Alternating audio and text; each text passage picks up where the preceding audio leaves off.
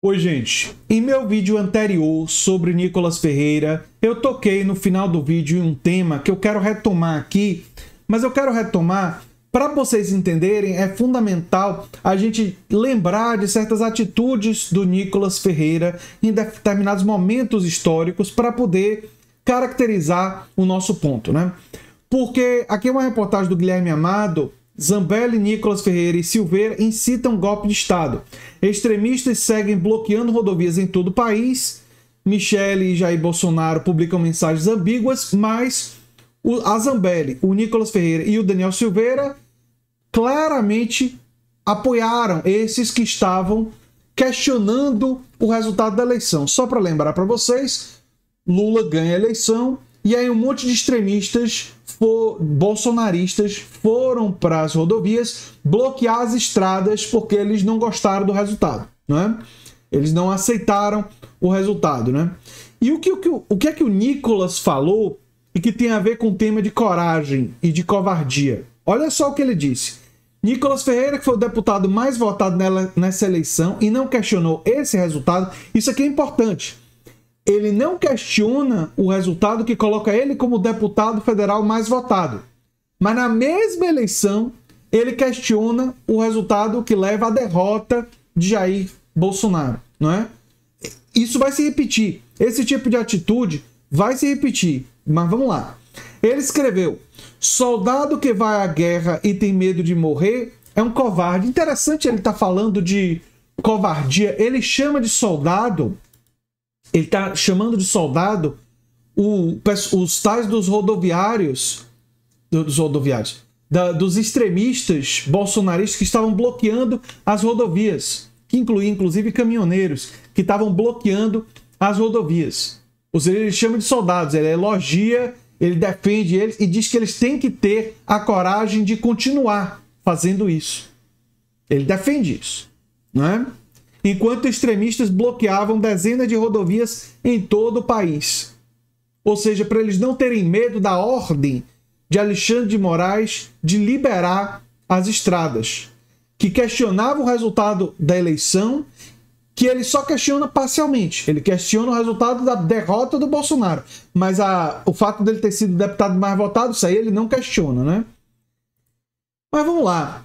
Após divulgar mentiras sobre urnas, bolsonarista Nicolas Ferreira é suspenso do Twitter. Ele havia compartilhado uma transmissão de um dossiê argentino que levantava sem provas a suspeita de fraude nas eleições brasileiras. Documento exposto já havia sido desmentido pelo TSE. Ou seja, Nicolas Ferreira divulgou notícia falsa sobre as urnas, dizendo que elas foram fraudadas ou seriam facilmente fraudadas, inflando a população e os seus seguidores de que a eleição, se Bolsonaro perdesse, é porque foi roubada. Ou seja, ele estava incentivando não é, uma coisa para não reconhecimento do resultado da eleição. Perceberam? Perceberam? Ele divulgou notícias falsas sobre as urnas e ele incitou golpe de Estado e ações como as dos extremistas bolsonaristas de bloquear rodovias. Aí, no 8 de janeiro, um monte de seguidores bolsonaristas, muitos desses que seguiam, inclusive o próprio Nicolas Ferreira, foram fazer, uma vez que a derrota do Bolsonaro estava consumada, o Bolsonaro nem mais estava no Brasil, foram lá tentar eles próprios produzir um golpe de Estado. E um desses, o que o Nicolas chama de Clezão, que mostra uma coisa, inclusive, de apelo emocional. Ele não conhecia essa figura, mas ele trata como se fosse amigo dele, né? Faleceu nas dependências da, da, da Papuda. E ele usa isso para o documentário. Mas aqui tem uma coisa, Nicolas. Você foi um dos responsáveis pelo Clezão ter ido lá no 8 de janeiro e ter sido preso.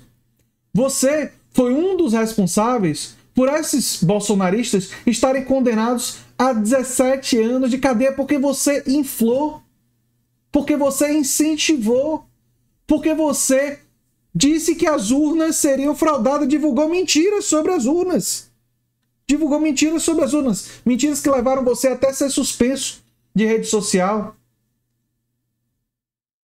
Sabe qual é o nome de uma pessoa que infla os outros a fazer alguma coisa, mas não assume a sua responsabilidade quando acontece, quando essas pessoas fazem aquilo que você inflou elas a fazer, aquilo que você incitou elas a fazer? Esse é um covarde. Esse é um covarde. Esse é um covarde. Essa é uma pessoa de profunda falta de coragem de muita covardia, incapaz de reconhecer a sua responsabilidade. Você, Nicolas, deveria ir para esses que foram presos e pedir desculpas a eles, porque eles foram lá em grande medida porque pessoas como você disseram para eles não aceitarem o resultado da eleição. Mas o Nicolas faz isso? Não. Ele aponta o dedo para o Supremo Tribunal Federal, ele aponta o dedo para é, o Lula, ele culpa os outros, culpa os outros pelaquilo que ele incitou. Isso é a atitude de um covarde. Isso é covardia, muita covardia. Mas querem ver um outro exemplo? Vocês acham que acaba por aí? Não. Ele tomou vacina contra a Covid e foi participar de um ato contra a vacina em Londres. Ou seja, a, a hipocrisia e a falta de, de, de coragem se manifesta muitas vezes ele se imuniza, né, para viajar. Ele deveria não, não, não ter se imunizado, é óbvio, é, se ele não acredita nisso, né, para ser coerente e não deveria ter viajado, deveria ter participado de evento antivax aqui no Brasil, mas não. Ele se vacina, ele se protege e vai para um evento contra vacina em Londres e participa de eventos aqui enquanto está protegido. Ele questiona o resultado eleitoral da derrota do Bolsonaro, enquanto celebra ser o deputado mais votado. Essa mistura de hipocrisia com falta de coragem. E aqui tem um paralelo importante. Bolsonaro, e por isso que Nicolas segue o Bolsonaro, né? Um dos fatores. Bolsonaro, ao longo de todo o seu governo, disse o quê? Que o seu governo não estava conseguindo fazer as coisas. Esse era o discurso que ele dava para os seus seguidores, que ele estava tentando fazer coisas, mas o Supremo não deixava, o Congresso não deixava. O discurso dos bolsonaristas era vitimização e não deixam ele governar. Não deixam ele governar. Culpando todos os outros pelos seus fracassos. Todos os fracassos, a culpa é dos outros. Não tem responsabilidade. Não assumem a responsabilidade de nada. Nem os Bolsonaro, nem o Nicolas. Não tem responsabilidade. Não assumem. O que que Lula fez quando foi chegou ao governo? Ele ficou choramingando pelos cantos porque o Roberto Campos Neto mantinha juros altos? Não. Ele reclamou sim, mas ele indicou pessoas que iriam pressionar dentro do Banco Central para reduzir juros. Ele pressionou diante da imprensa, ele usou o microfone para pressionar para que os juros caíssem. Ele indicou um ministro da Economia que pressionou Haddad para que os juros caíssem e os juros começaram a cair. Por muita pressão. Ele ficou choramingando pelos cantos que o Arthur Lira não deixa ele governar? Não. Ele negociou com Arthur Lira. Fez, cedeu coisas que a gente não queria que cedesse, mas cedeu, enfrentou e aprovou a reforma tributária e o Brasil está entregando crescimento do PIB, queda de desemprego, queda da inflação.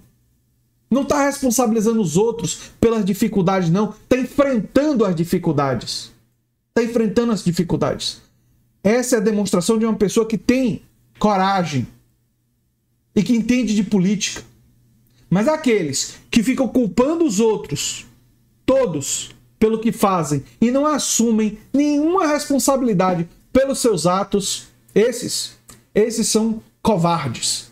E eu fico me perguntando como é que essa gente que diz valorizar tanto valentia apoia, defende, faz campanha para pessoas de tão clara e absoluta covardia. Eu realmente é uma resposta que eu não tenho. Se vocês sabem, me digam nos comentários. Eu sou André Teixeira Jacobina, o canal é a Nova Máquina do Tempo. Se você gosta do que a gente faz, se inscreve, dá um like, compartilha. Quem sabe vira membro ou apoiador, quem sabe faz um dos nossos cursos. Um abração e até o próximo vídeo. Tchau, tchau.